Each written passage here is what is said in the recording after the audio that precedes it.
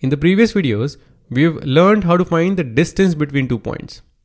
In this video, we learn how to find the distance between a line and origin. So here's an example. Find the distance of line 3x plus 4y equals to 25 from the origin. So let's plot this x-axis, y-axis, here's our line and this is our origin.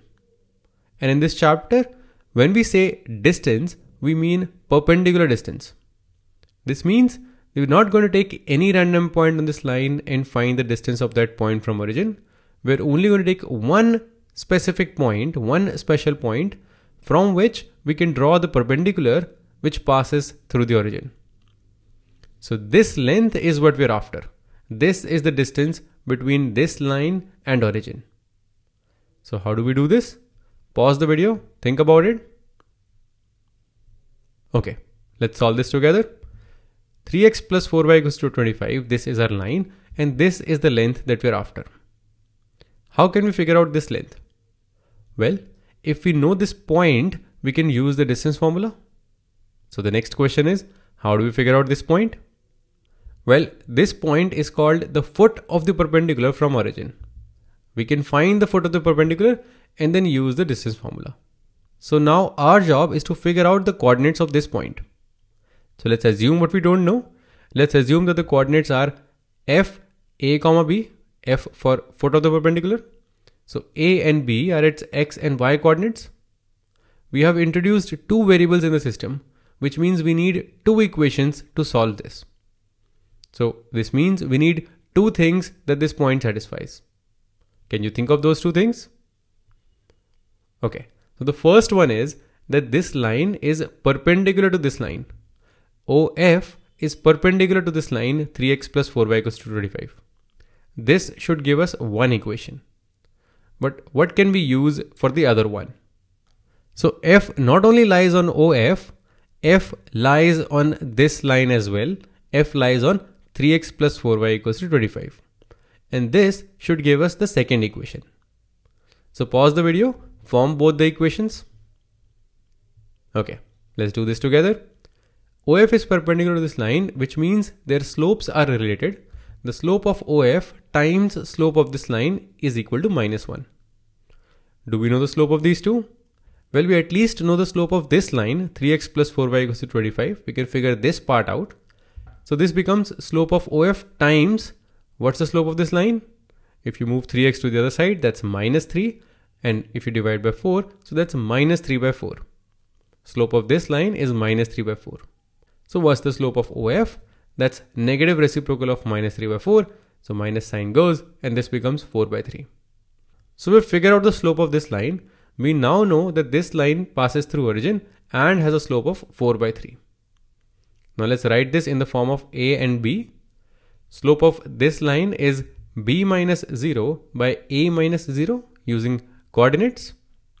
This means B minus 0 by A minus 0 is equal to 4 by 3. This means if you cross multiply, 3b is equal to 4a. So this is our first equation in a and b. Let's form another one. f lies on this line.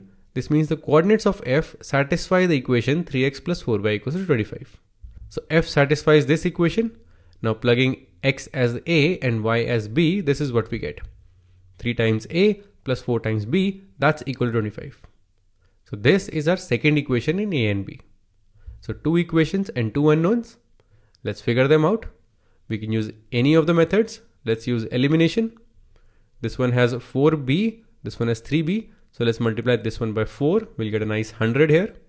So 3 times 4 is 12. So 12a plus 4 times 4 is 16. 16b equals to 25 times 4, that's 100. And here we can use this equation. So if 4a equals to 3b, 3 times of this becomes 12a and 3 times of this becomes 9b. So 12a equals to 9b plus 16b equals to 100. 9 plus 16 is 25. 25b is 100 which means b is equal to 4. And if we plug b equals to 4 here, 4 cancels out, a is equal to 3. So now we know both a and 3, we have solved these equations and we know the foot of the perpendicular. That's 3 comma 4. This is the point. And once we have the point, we can use the distance formula so we can finish this off. OF equals to square root of 4 minus 0 square plus 3 minus 0 square. That's 4 square plus 3 square. That's 16 plus 9. Square root of 25. That's equal to 5, which means this length, the distance between origin and this line, that's equal to 5 units. Let's quickly recap what we just did. We need to find the distance, the perpendicular distance, which means we need to find this point, which was on the given line and also on the perpendicular which passes through origin. So these are the two things that we used. We formed two equations and got A and B. As soon as we got the point, we used distance formula to figure out the distance. So this is one way of doing things.